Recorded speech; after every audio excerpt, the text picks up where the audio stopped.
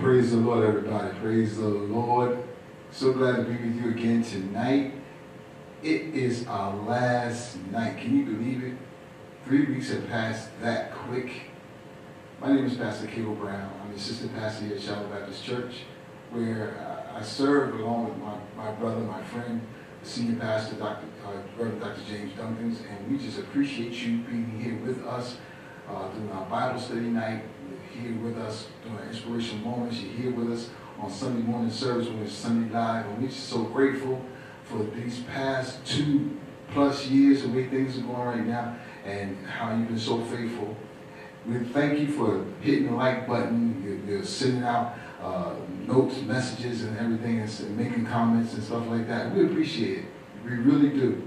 That makes a difference. It makes us realize that we're actually doing what God called us to do in times like this.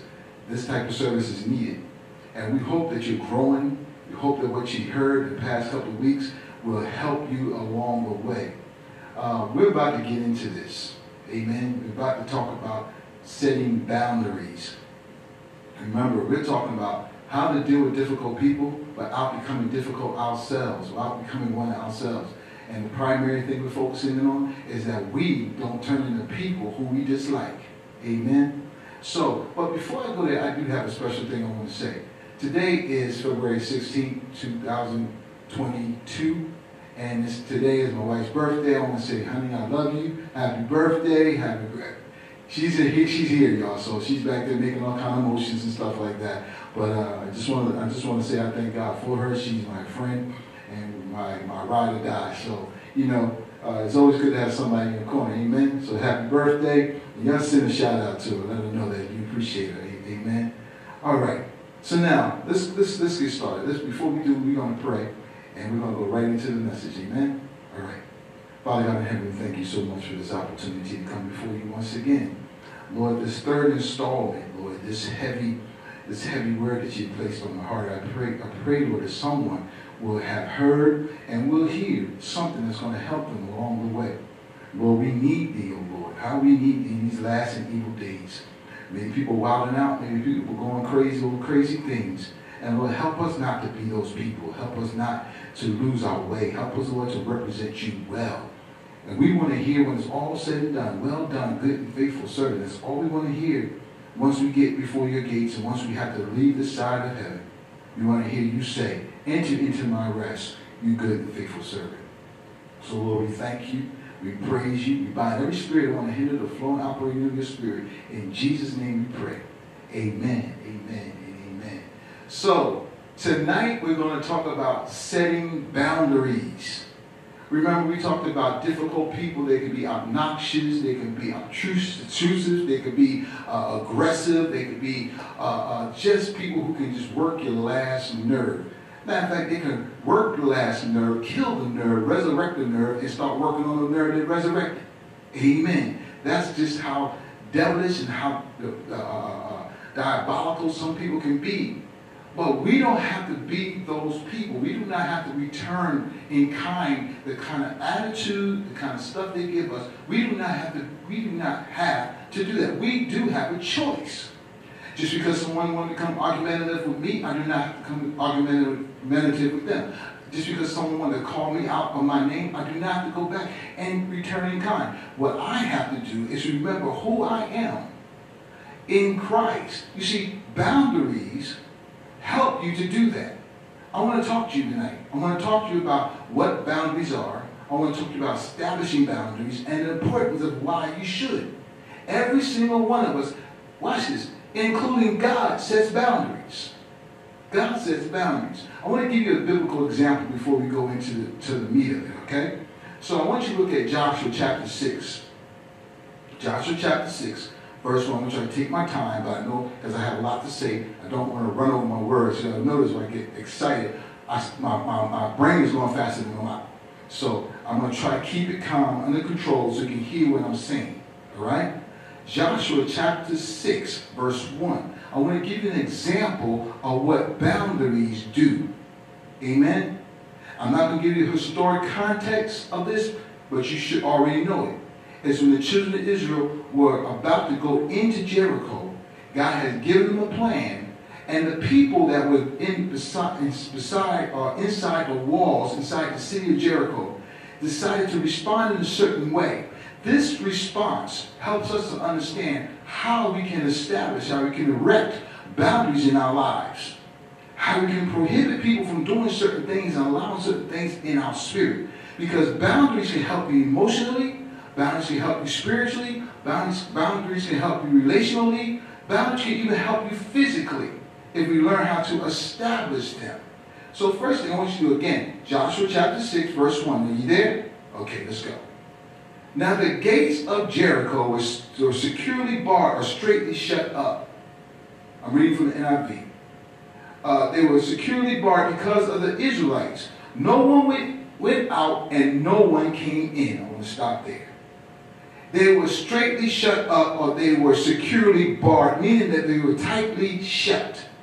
Understand that the people who, who lived inside of Jericho, knowing that the people of God, the nomadic people, the ones who were coming into their territory, after, having heard about what their God can do, they became afraid of the people and they shut the gate. They shut the gate and they prohibited anyone from going in or anyone going out. Someone going out can leave the door open and someone can slip in. They knew that they had to make sure who was ever in was going to stay in, whoever was out was going to stay out. Do you understand that that's essentially how boundaries work? You see, you, these, this, you have to set the, the, the stage. You have to set the boundary. No one else is going to set it for you. The people of Jericho set the set the the, the uh, uh, gates. They shut the gates. They they're the ones who made the decision. We're not going to let anyone come in or go out. When you decide to set a boundary, you cannot permit someone else to set it for you. Because if you try to, if you wait for someone else to make a decision, say for instance, there's a person who wants to consistently come into your life bring all their mess, dump all their stuff on, on you, and then walk away expecting you to do something about what they just dumped. Listen to that for a minute. They dumped everything on you. I shared a story with, with the, with the uh, minister some time ago about a pastor who would have people come into his office and they would come in and they would dump everything on him. And he said, it's like having a monkey in a room. The monkey will jump all over the place, or kick over stuff, knock books over. This is metaphorically now. They will knock everything over because their, their, their trauma and their, their, their, the stuff that they're pouring into them is so traumatic that he, he it's like having something come into your room and tear everything up.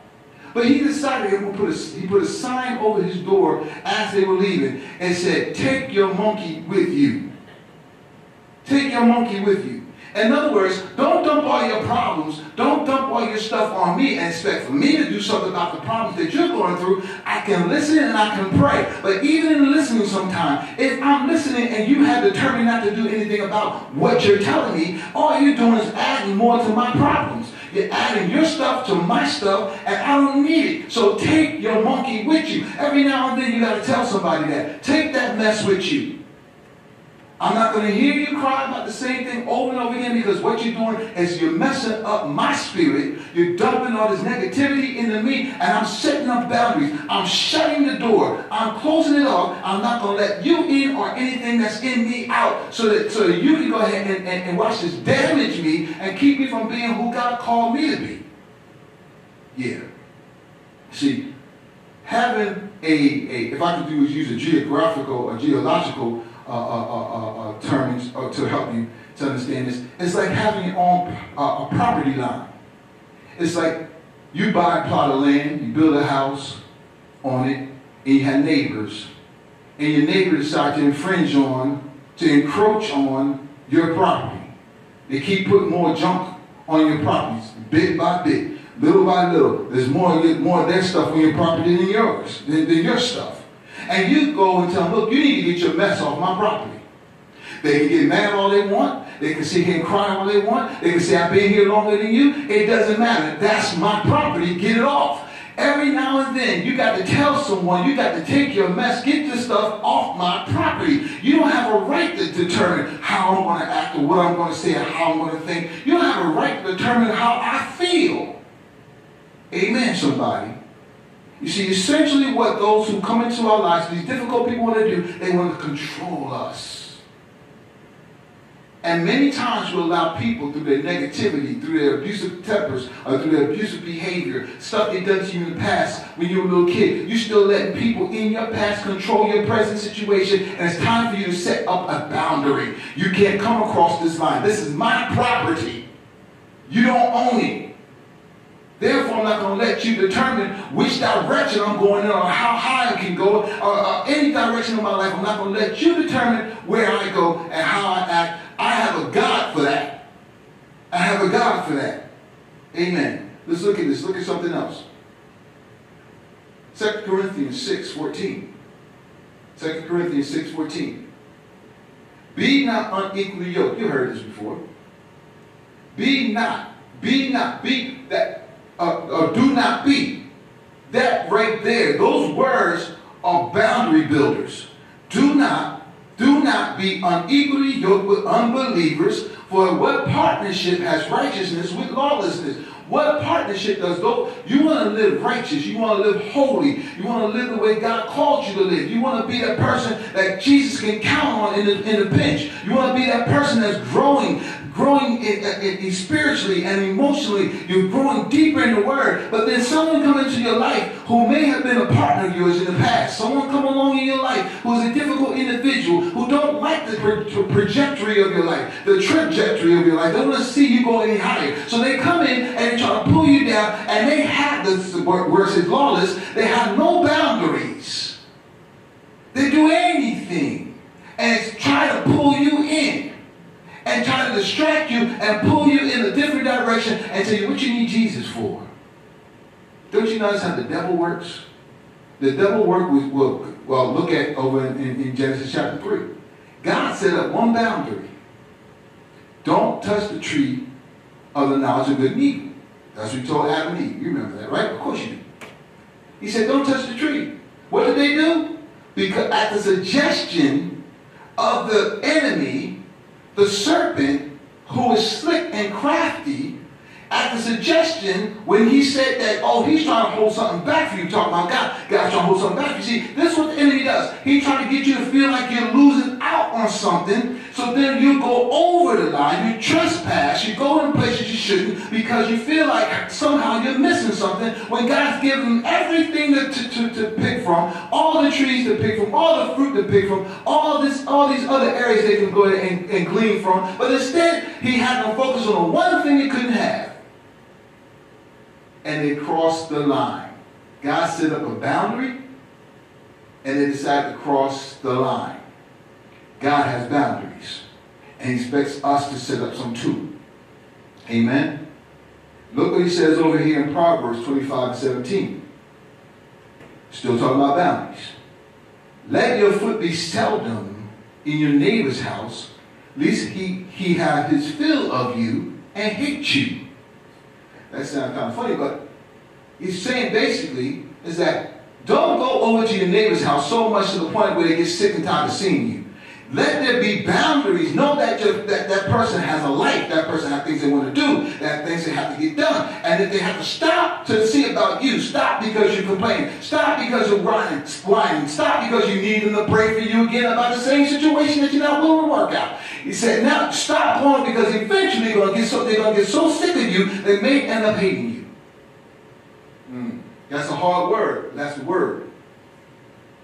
It's a hard word, but it's, that's the word we have to be willing to understand that everybody has something they're going through. And they cannot always listen to my problems because by me dumping all my problems on them, I become that difficult person. Now they're trying their best to be saved, to be, you know, we think it's something wrong to say, uh, no, I, I, can't, I don't have time for this. No, uh, you pray for yourself. No, I don't have time to go ahead and, and cuddle you and, and, and, and, hold you up. I don't have time for that because I'm too busy trying to deal with this child of mine who's getting in trouble in school. I'm too busy trying to deal with my relationship that's falling apart. I'm still trying to handle my finances. I got all this stuff going on mentally and emotionally. I'm stressed, I'm and here you come. You know who the you is. We already we always have somebody not like that you that comes and want to take up time and place and space. Don't add anything to you. Matter of fact, you start you soon as you start saying yeah, yeah, okay, I hear you, I hear you. But you know what? I got some. Can I talk to you about something? I'm going through, and next thing you know, oh, they don't have time. You don't have time. They want you to hear everything they have to say, but don't have time for you. You got to set up some boundaries. Have to set up some boundaries. You're going to get into something here. Okay? So, simply put, a boundary is your own personal, like I said, property line. It defines who you are, where you end, and where others begin. Notice that. It defines who you are, where you end, and where others begin. It refers to the truth, to reality, to what is. When you confront someone about a problem, you're setting a boundary. You say, look, this is an issue for me. This is a problem for me. The way you talk to me is a problem. You calling out my name is a problem. That I will not accept you calling me anything, talking any kind of way. That you're setting a boundary at that point. You're saying, I am not that person that you can just walk all over. Hear what I'm saying? In the time we live in, People are constantly trying to just usurp their authority or put your, your, authority and push themselves into your life and try to overtake you. And, and, and many times because we're Christians, we're saved, we want to be nice. Yeah, being nice is okay, but being but being so foolish you let people just run all over you. Jesus never told us to be a roadmat or a doormat. Have people just run all over you. We don't have to take that. I know some folks say, wait a minute, I've never heard this before. It's the truth. Jesus was always Jesus. Jesus was the same one who, who washed the disciples' feet, but Jesus was the same one who also they a cord, a, a, whip, went into the temple. Check out John chapter 2. Went into the temple, found out there were money changers in the temple. They were doing merchandise in the temple. They were doing all kind of exchange in the temple. They made his, they made the temple a place of merchandise rather than a place of prayer. And Jesus said, no, this ain't going on in my father's house. So he took the whip and started, get everybody get out. Jesus was a bad somebody. He didn't play. He could be soft, but he can be hard when he have to be. He can be nice, can take a child in his hands and say, this is what the kingdom of God is like. But at the same time, can tell that he can tell the, the, Pharisees and religious leaders that you're not but like white and sepulchres. You're not but in you but dead stuff, dead men's bones. He had no problem. Why? Because the Bible says, if you check out John chapter 13, the Bible says before he took the took uh, uh, uh, uh off his robe and, and he took a, a, a, towel and decided to wash his disciples' feet, it says that he knew what, who he was and where he was going. Jesus was fully acquainted with himself. He knew who he was. He knew he was God in the flesh. He knew he was 100% man, 100% God. And he had no problem humbling himself when he had to because he knew humbling himself did not make him any less than who he was. You see, we think sometimes if I let, if I humble myself, because sometimes I want to take humility to, to overcome some things, that somehow I'm being less of a man. If I let my wife have her way sometimes, I'm being less of a No, you, if you know who you are, you don't worry about that. But boundaries help you understand where you begin and where other people end.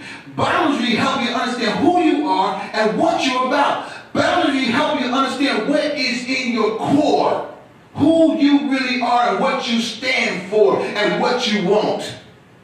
Setting up boundaries are imperative. Matter of fact, many of us like to set up goals. We're going to establish this. We're going to do this by next year. We're going to, we're going to paint the house by this year. We're going, to, we're going to make sure we get a new car by that, by that year. We're going to make sure we put money aside for, for college and all this stuff. But watch this. If you don't set boundaries up, you spend the money you're supposed to use on the house. You spend the money you're supposed to use on getting the kid through college. You spend the money on that new car beforehand because you don't control. Somebody say control. You don't control, you don't discipline yourself. And boundaries help you to discipline yourself.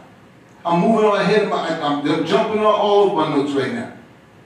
Boundaries help you to discipline yourself. When you set goals without boundaries, what's going to happen is chances are you never reach your goal because you didn't set the boundaries to help ensure that you go and you get what you what you have what you're seeking after. Amen. Look what else it says. By the way, there's some very good material out there about boundaries. This is by no stretch of imagination am I exhausting this, this topic. There's books out there by uh, uh, several people. One, one in particular well, several in particular, by two individuals. One, uh, doctors, Henry Cloud and John Townsend. They have a book, they, excuse me, they wrote years ago called Boundaries. Now that has morphed into Boundaries in Dating, Boundaries in Marriage, Boundaries in Leadership. There's several good books out there to talk about boundaries. Why? Because this is paramount. This is so important to your spiritual well-being that if you don't set, you won't even know what your opinion is. If you don't, you want to know what you what, what you really think about a thing because everybody else will be pouring into you, and you never take time to figure out what do you really want. Now I'm really jumping ahead of myself, but that's a part of it. Understanding how to set boundaries, you have to know what you want. Right? Let me read this. You can set a boundary with your words when you're honest and when you establish a consequence, wow, a consequence for another another's hurtful actions. Boundaries help define who we are in our relationships. Listen to that. I'm going to just read this for now because we are going to jump into something. When we know what we want and do what and do not want, when we are when we are for what we are for against, for and against, what we love and hate, what is me and what is not me, we are setting boundaries. Let me read that again. When we know what we want and do not want, what we are for and against, what we love and hate, what is me and what is not me, we are setting boundaries. In other words, I have to know me well enough to know what I will allow in my life and what I won't. Can I use another example? Say you want to lose weight. You want to lose weight. You want to get in shape. You want to get the summertime coming. You know, you want to get yourself together. You want to get buffed again, right? Okay, cool. Listen, you know then you can't be having ice cream and cake every night. You got to, I'm not saying never, but you need to set up boundaries. You got to know that certain fools is going to go to work against you getting what you want. Going to work against you getting that weight off. Going to work against you getting that buff body back. That, that's something you have to understand. If I don't set up boundaries and I just go around with my, just this, you know, just whatever goes, whatever, whatever comes up and whatever I feel like doing and don't discipline myself to be responsible to get what I want, then you end up with the same thing you always had. Hmm. And if I had a, if I had a crowd here, I would ask you this question: Are you satisfied where you are? If you're not, maybe it's because one, you haven't set goals, and two, you haven't set boundaries. Hmm. Let's move on. People with good boundaries are clear about their opinions, beliefs, and attitudes in the way that Jesus taught simply over in Matthew 5.37. Write that down. Matthew 5.37. Jesus said, let your yes be yes and your no be no. Everything beyond that comes from the evil one. In other words, you don't have to you don't have to sit here and him hard, go back and forth. It's either yes or no. Either you want this or you don't. Now I know some circumstances call for you to sit down and say, okay, I don't fully understand everything that's going on, so you have to take time. And one of the aspects of, one of the steps of getting to a, a, a, a building boundaries is that you have to learn how to pray for understanding. We're going to talk about that, all right? So, people with clear, without clear boundaries are unsure of their opinions, feelings, and beliefs. If you have clear boundaries, you really don't know what you want or how you feel. You people can move you any kind of way if you haven't set boundaries because their opinions become paramount in your life. Their opinions become, you know, let me hear what somebody else has to say. Let me get their opinion. What do you think about this? What do you think about that? Before you know it, you're not living your life, you're living somebody else's. Parents are good for that. We can tell our kids this is what we expect. This is what we want. We want you to do this. We want to do, but never taking time to figure out what the child. The Bible says, train up a child in the way that he should go, and he shall not go. Get oh, he not depart from. In other words, train them up in the pathway that God has already set before them. Help them to find out who, where God is taking them, and then, then encourage them to go in that direction. Yeah, more on that in a minute. All right. Boundaries also help protect us from injury and harm. Setting boundaries, we, can, we take responsibility for the lives and the gifts God has given us. Proverbs 4 and 23 says, Above all else, Guard your heart. We talked about this before. Guard your heart because out of it flows the issues of life, the well springs of life. Everything is seated in your heart. Your heart is a place of your emotions. The heart is a place of your will. The heart is a place of your decision making because you make things based on how you feel, not, not, not often what you know. Amen? So, so, so you got to guard your heart, and that's what individuals trying to do. The, the enemy in particular wants to attack your heart because if he has your heart, he can guide your life. If he has your heart, remember I said your heart, your will, your emotions, the decision making. If he has your heart, he guides your life. So he sends difficult people into your life to try to grapple your heart, to pull it in his direction. And God saying, wait a minute, I sent the person in your life so you learn how to fight against that. Remember what we talked about. You don't remember, go back a couple of weeks ago. Amen. Look at the tape. Uh, boundaries protect our values, feelings, time, energy, and attitudes. Yeah, here this, this is boundaries do. When a person says to another, I want you to stop criticizing me in public, he's saying or she's saying, I'm putting up a protective boundary. You can't talk to me anyway in front of your friends. You can't talk to me anyway in front of these kids. You can't talk to me anyway. Even my boss on the job, you can't just say anything. I'm still a human being with, with, with, with, with feelings and, and everything else that come along with being a human being. So you just can't, I'm putting up a protective boundary. I won't permit you to say that to me. I'm shutting the gate. You have to take responsibility for that because nobody else will. All right? We're getting to get into some good uh, stuff, so just hold on here. All right? So, God Himself, as I said, God Himself sets up boundaries. He designed them and lives them out. He is clear on who He is, what He is for, and what He is against. He is for relationships. He is for truth. He is for love. He is for honesty. He is against oppression, injustice, and sin and evil. Isaiah 61 and 8. For the Lord loves justice, hate robbery, and iniquity. God has clear boundaries. You know who he is, what he wants, what he likes, what he dislikes. You know what? So many times we try to figure out the mind of God, the will of God. What God want me to do? What he want me to do? If you read his word, you'll find out his will. You read his word, you'll find out his will. Once you know his will, you're going to follow his will because you know his word. Amen. God does not hide this. It's not, it's not something secret. When he says, I want you to be holy as I am holy, I want you to be set apart, different than the world, because I am. Clear. When he says, I want you to forgive, if you don't forgive, I can't forgive you. Amen. So that's clear. I understand. If I'm if I'm walking around in unforgiveness, God is saying, I got to hold this weight over you. I, I can't I can't I can't let you loose. I can't I got to still hold you accountable to the things you did. Now watch this. You try to hold somebody accountable to something, they walk away from you. Well, what happens when God has to hold you accountable to something? Ah. Pastor, can we get something good? Don't worry, it's coming.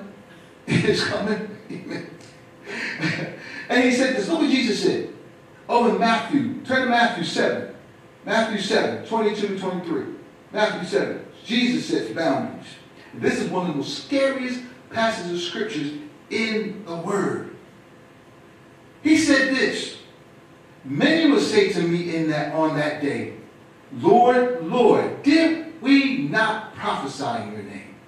And in your name cast out demons, and in your name perform many miracles. Notice the, the external stuff they did. Uh, the stuff they had to do out to make it look like, you know, how spiritual they cast out demons and they prophesied and, and, and, and, they worked miracles. All this stuff that seemed so fantastic out of this, this outrageous stuff. And, and Jesus said this, and then I will declare, I never knew you. Party. Hold up. They cast out demons, prophesied, spoke in tongues, did all this, this fantastic stuff, this stuff that's mind-blowing, miracle working. And Jesus said, I never knew. The word never means never, no, not ever, at any moment, at any point, at any point in time. Present, past, or future, did I know you? Did I, in other words, I never had a relationship with you. But they used his name. There are folk right now, you look at some of these televangelists who like to get on and say the name of Jesus, and at the same time they want to sell you prayer cloths. They want to sell this, this, this oil, water, but they also have this the blood of Jesus in a bottle and whatnot. They want to sell it to you and all this. Yes, they, they, they talk about they can you know they can raise the dead and make the blind to see. They want to do all this stuff in the name of Jesus, but at the same time they walk they they, they, they have their own their own. They want to have their own jets and they want to have their own uh, airports. They want to have their own. They, you know they're, they're billionaires and they, and they're getting the money based on this stuff that they're selling to their people. The people are dying in the, on the, on in the pews while they're getting richer and fatter off the people that they're uh, feeding the stuff to. Jesus said, I never knew you.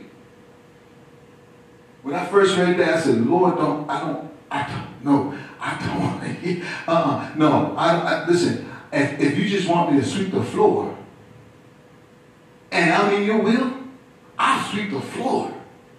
You want me to what? Clean windows? I'm in a heartbeat if that's what you want me to do. And I'm in your will. As long as I'm having a relationship with you, I can hear your voice. When I wake up in the middle of the night and something may trouble me, I can call on your name. When something's got me confused and frustrated and I'm angry about something, I can turn around, turn my face to the wall and say, Lord, help me because this situation has trying to overtake me. I don't want to do is, will be contrary to you or hurt you or make you look bad. So therefore, I'm going to submit and surrender myself to you. So I never hear these words, I never knew you. And this is why he said I never knew. He said, listen to the, they had all that stuff wrong, casting out demons. They, they, were, they, were, they were miracle workers and prophesying, speaking in tongues, all that stuff, right? Okay, all that showy stuff. But Jesus said, I never knew you. Get away from me or depart from me. And think about it. Get away from me. Jesus said, get away from me. I never knew you. For you practice, practice iniquity. You practice lawlessness. Know the word iniquity or lawlessness means? It means that, that, that they were without law, without restraints. No boundaries. Clearly, God expects us to set boundaries. Let me move on. It's about self-control. Self-control. It's not about the difficult person right now. We will move off them. We shifted from them. We're talking about you and I now. Just us. It's about self-control. Amen. Biblically speaking, boundaries are related to self-control. The Bible commands us to control ourselves Whereas our human nature desires to control others. Human nature. Think about when Eve ate from the fruit, ate of the fruit. Some people say apple, the Bible said fruit. Amen. She turned and gave to her husband who was with her. Right? And then later on, the, the, the curse that came upon him was that the Lord said that you're, you're, you're going to have to submit to your husband, though she won't want to. That's why there's conflict in the home. Because we have a, we have we have the order out of order. Should be God first, man as the head of the household, and the wife being the support system, being the help me in this household. But watch this, the two work together, amen, as a unit. Amen. That he doesn't lord himself over her, but at the same time, she can't take control of him over because the Bible lets us know that that's what Eve wanted to do. And women subsequently after that wanted to take control and make their husband do certain things, well, the man's always butting against it. Why? Because it's a disorder. It's a disorder. We, by nature, want to control other people. And God's saying, no, that's not, that's not what it, that's not, that's not what's supposed to be all about. If my spirit, if my nature goes unchecked, I will run over people. You hear me? Run over folk. Look what the Bible says over in Titus chapter 2, verse 11 12. Titus chapter 2, verse 11 12. For the grace of God has appeared that offers salvation to all people. It teaches us to say no, to say no to say no to ungodliness and worldly possessions, or worldly passions, I'm sorry, worldly passions, and to live self-controlled, upright, and godly lives in this present age. This world is out of control. People are doing whatever they want to do. There's some stuff I can't even mention as we see on YouTube and, and, and the stuff they're doing on the TikTok and all this crazy stuff that's happening. We, we, we can't look at TV without certain commercials going on that will go and vex our spirit. Amen. We live in a world that's out of control. Here's the problem. The church is also following the same dictates. It's time for you and I to remember that we're supposed to be representatives of a higher standard. We are supposed to be following the I am that I am, the creator of all things and sustainer of all things, the one who breathed life into all things, the one that had not been for him, nothing would exist. We're supposed to follow a higher standard. And many times, because we want to appease people, amen, we don't want to preach on certain things. I'm about to mess up now. We don't, um, this is my last class. We, we don't want to talk about certain things because we don't want people to watch this feel offended. Well, I'm not going to try to offend you on purpose, but if the Bible says to speak on something, I am accountable to what I'm supposed to say. And I'm not going to go ahead and get messed up, lose any kind of crowns, lose my joy, lose my peace to try to be somebody who don't care enough to go ahead and change their life for Christ's sake. Sorry. No, I'm not sorry. I just lied. I'm sorry. I'm not sorry. But I'm trying to help you understand. If people are not going to try to follow Christ, if they don't want to do the things that need that's necessary to, to please God, don't you try to please them. Be who you are. And know there's only one person you need to please, and that's the Lord Himself. Amen, somebody. I'm working here, I'm sweating now. uh, personal boundaries help us to limit our selfish inclinations. Hear me now, because you can also have unhealthy boundaries. Healthy boundaries, I'm trying to preserve who I am and follow God. Make sure I'm doing the right thing and I'm not letting you destroy me by me trying to please you. But unhealthy boundaries, when I start to form cliques. I don't want to let people in. I don't want to help people to get closer to God. I don't want to pray, for nobody else. I want everybody praying for me. That I'm not concerned about the homeless. I'm not concerned about the sick. I'm not concerned about somebody's child who, who, who, who's, who's going through. I'm not concerned about folk who, who have reached, uh, hit uh, uh, some bad times in their life. And I act like, well, it's not me.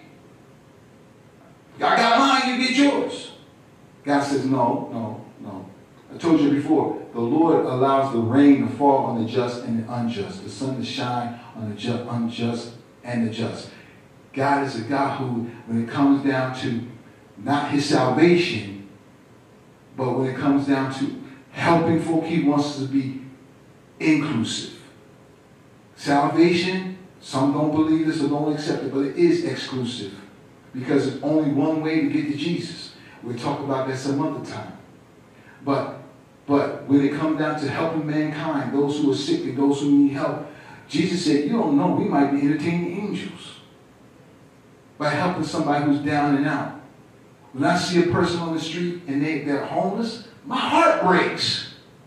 There's times I cry because I've seen someone in the cold and I have to stop and give them something to encourage them. Say, look, I'm praying for you. I'm praying for you. Turn around. I hope a miracle's around the corner for you.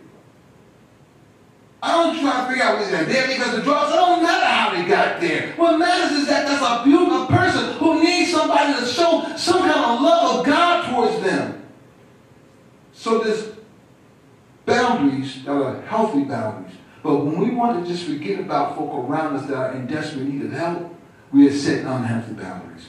We want to set cliques, and it's just about me and mine and nobody else. We are setting, setting unhealthy boundaries. Amen? So, let's move on. Uh, self-control is one of the fruits of the Spirit. Write down Galatians 5, 22 to 23. One of the fruits of the Spirit is self-control. A believer who sees his need for self-control so he can take responsibility for his own actions. See, I can't keep blaming my wife. I can't blame my kids. I can't blame my mom. I can't blame my dad. I can't blame the boss. I can't blame the white man. I can't blame the black man. I can't blame the Asian man. I can't blame the people my stuff is messed up. I got to look at the man in the mirror and say, get yourself together, brother. One who need to get together. You're responsible for you. Yeah. Let me move on because focusing, look, you know, some folk might be saying, man, you got to just get, keep moving. a person with clear, healthy boundaries communicates to others what is and is not permissible. Saying, in effect, this is my jurisdiction. This is my area of control.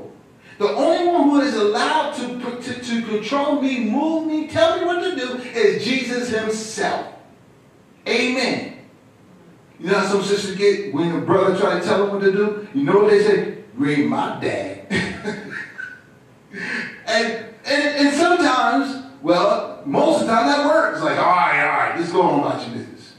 Or you get into a deeper argument. What they're essentially saying is, stop trying to control me.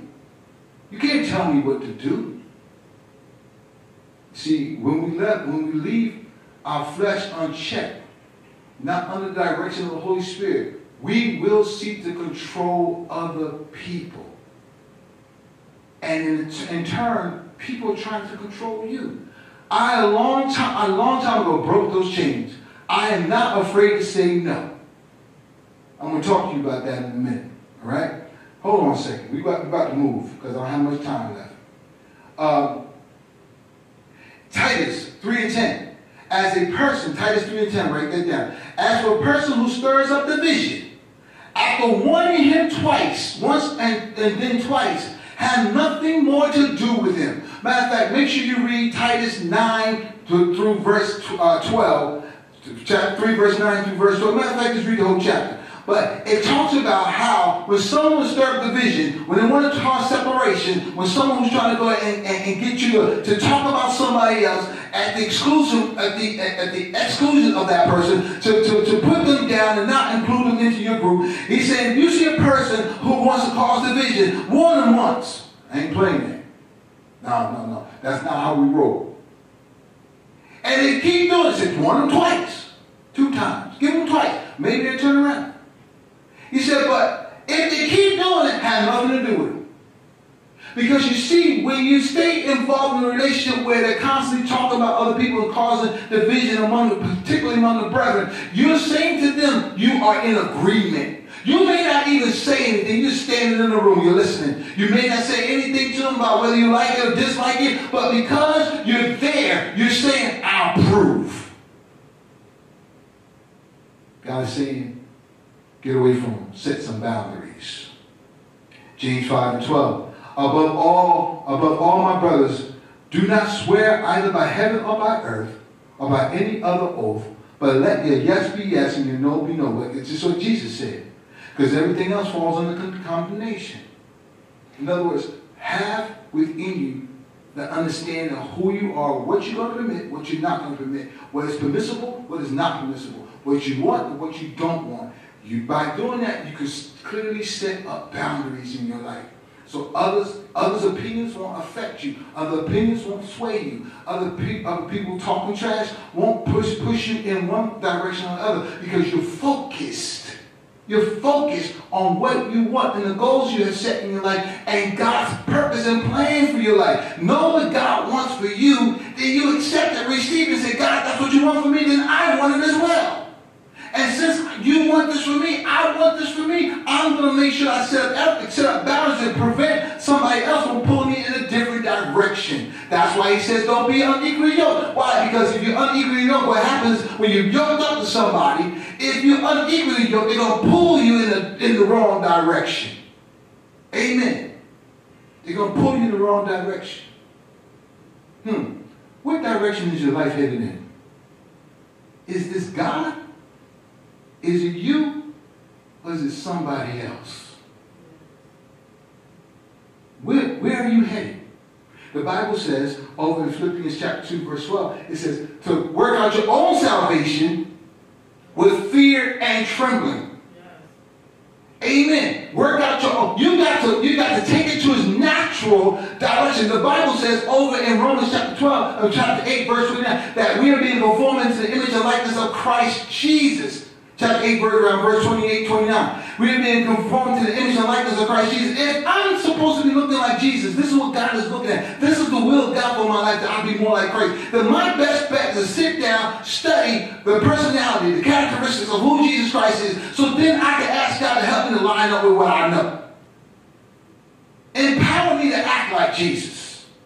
But before I can be empowered to act like Jesus, I must know Jesus. I must study Jesus. I must spend time with Jesus. Amen? Let me move on. So now, also, this parenthetically, I want to say this while, while I'm moving to the next step. Set up parental boundaries. Mm. You see, if little, if little, if little, if little Jamie is telling you off at three, and you don't put some put put something on that, put a lock on that, put some boundaries around that, when she becomes 13, you can't tell her nothing. I know people right now who, a person told me about how their daughter cussed out her husband. I'm like, she's still living? or at least she should be bruised. Something should happen. Because I know when I was a kid, if I ever even thought about, if the thought was in my head, my dad would know what the thought was and not the thought out of my head. Amen. Today, we want to coddle our kids and we want to befriend our kids rather than parenting our kids. The Bible says, as, I said before, uh, over in uh, Proverbs 22 6, this, in, in NIV, it says, Start children off on the way they should go. And even when they're old, they will not turn, return, they will not turn from it. You have to know what God is doing. Pray over your children. Pray about your children. Pray, pray for your children so that you can know how to raise them up so you won't so you won't cause them to go in a different direction because you're overbearing. You stress them out by, by, by trying to place something on that they're not capable of doing or ready for. Amen? So every now and then, when it comes down to setting boundaries, uh, but also set boundaries with your older kids. You better set boundaries with your older kids, your older children.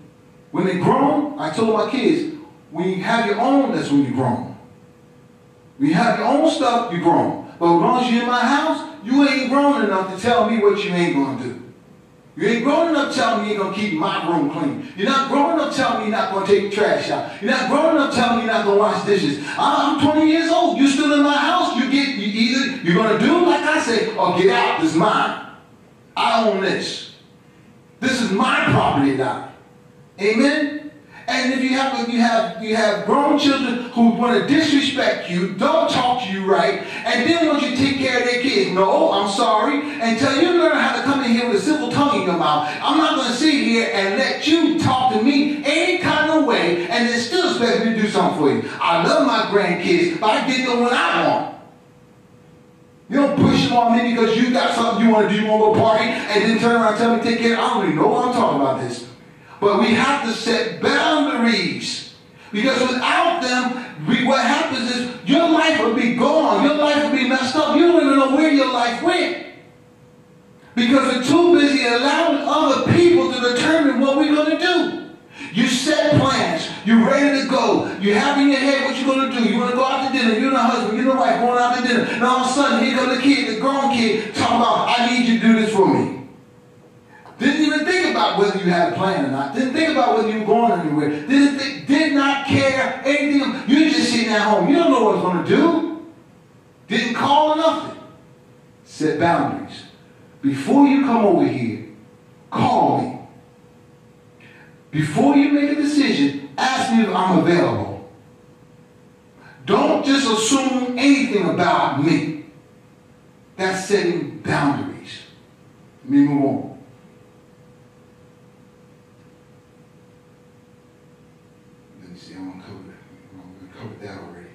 Boundaries can help us fight the influence of the world. Boundaries can help us fight the influences of the world. Uh, write down 2 Corinthians 6.14. Right? Boundaries help us because, again, that we talk about fellowship you know, with the darkness. It, it helps us to set boundaries. Being, uh, being kind and friendly is Christ-like. But we are not to embrace the world's ways of doing things. I want, I, I, want to reach people for the Lord. I want folk to be saved. That's a good thing. I want people that receive the gospel of Jesus Christ that will save their souls. I want to see them on their way to heaven. But if I have to, watch this, convert them by being more like them, going to the bars and hanging out and drinking, cussing and carrying on and acting like, you know, you know, that's how we roll and we're good. No. Because now you know different.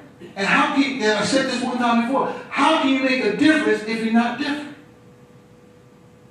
Look what he says here in James chapter 4. Verse 4. You adulterous people. Don't you know that fellowship with the world means enmity against God? If we're fellowshipping with the world, if we have, if we have, we unify with the world, we are actually an enemy of God. Therefore, anyone who chooses to be a friend of the world becomes an enemy of God. That's the, that's the scripture. I didn't say it. Bible did. All right, talk about boundaries help you take responsibility for your own life. We already talked about that. All right? So let's look. Let's look at since I only have a few minutes left. Let's look at the necessary steps it's going to take for you to start setting boundaries up.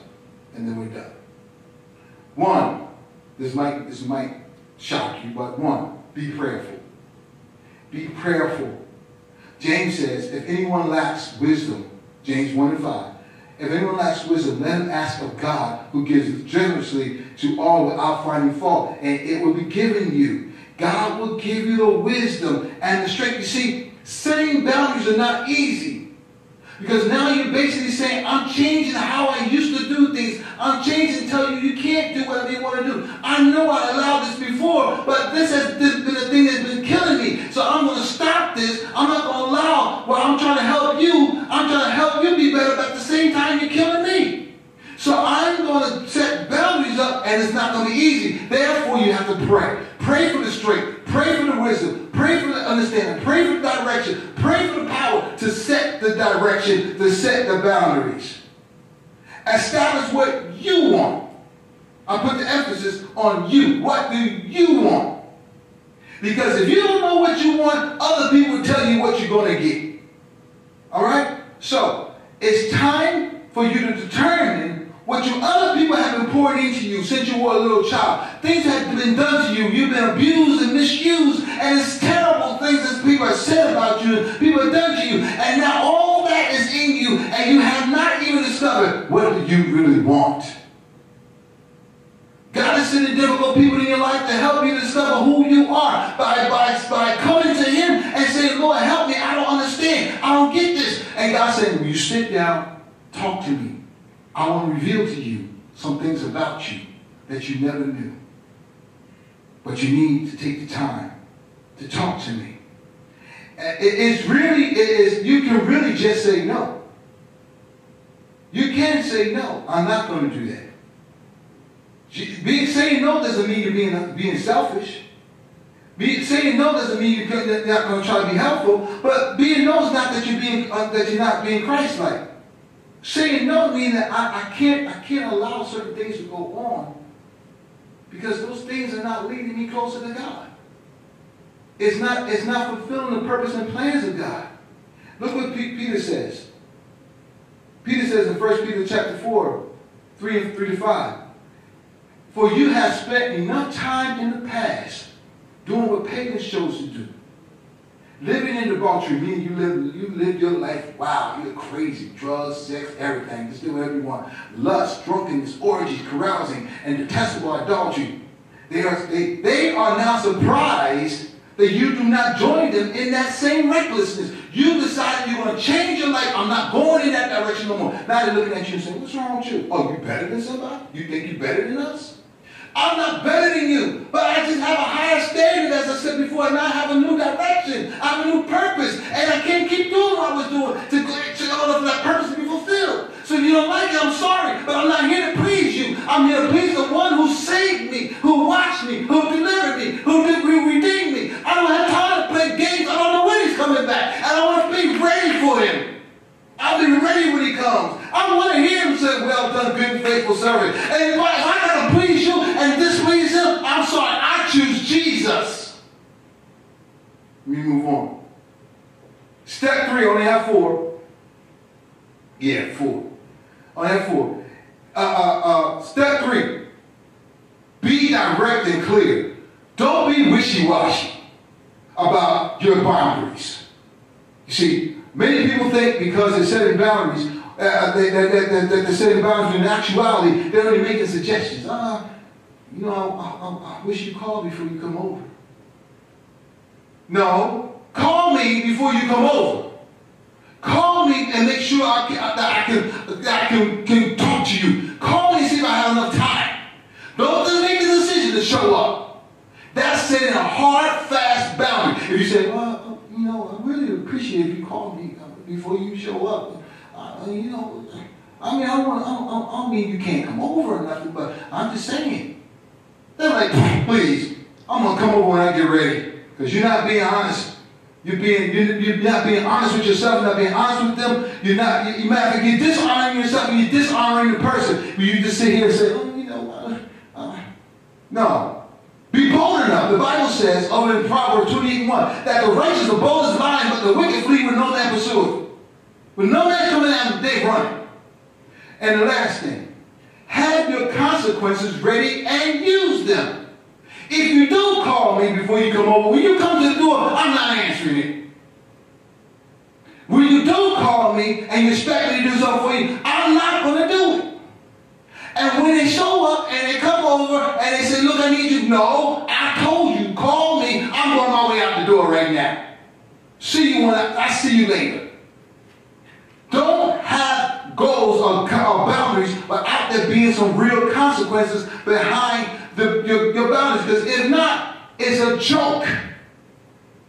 It's like telling a child, I told you, Johnny, I told you to sit down. If you don't sit down, I want you, you're not going to get any dessert tonight.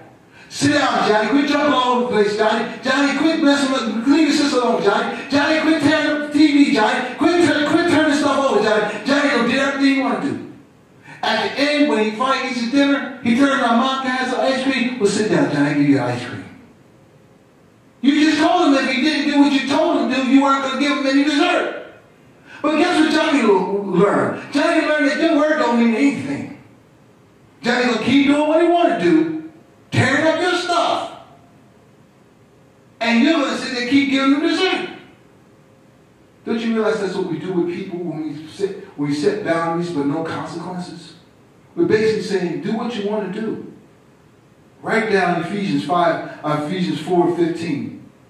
Because we're supposed to humbly come towards one another, humbly accept one another in love. But me loving you don't mean I have to stop loving me. See, the Bible says to love the Lord thy God with all their heart, with all their soul, with all their mind, with all their strength. And love your neighbor as you love yourself. How can I love my neighbor right if I don't love me? Loving me means I'm going to take care of me. I'm going to take care of you, but I have to love me first. Why do I have to love me first? Because I can't love you right if I don't know how to take care of me. It's like this, and I'm getting out the way. Last example. You're on a plane. The steward is telling you, if in case the cabin starts to lose pressure, what's going to happen is the oxygen is going to come down. If you have a child, do not put the cup on the child first. Put it on yourself. Why? Because if you take oxygen in for yourself and try to save the child, what's going to happen? Both you and the child will suffer because you won't be cognizant of your, you won't be able to go ahead and do anything because you'll lose consciousness and both you and the child could die. So you have to take care of yourself. If I'm going to be useful for the kingdom, I have to take care of myself so I can be useful for God and the things he wants me to do. If I'm going to help someone else, I have to be willing to help me first. So God bless you. My time is up. This is the last class. I wish I had more time to talk to you. There's so much more. But God bless you. Please remember to follow us on Facebook and follow us on these other programs. And we want to make sure we just reach you wherever we can. So God bless you.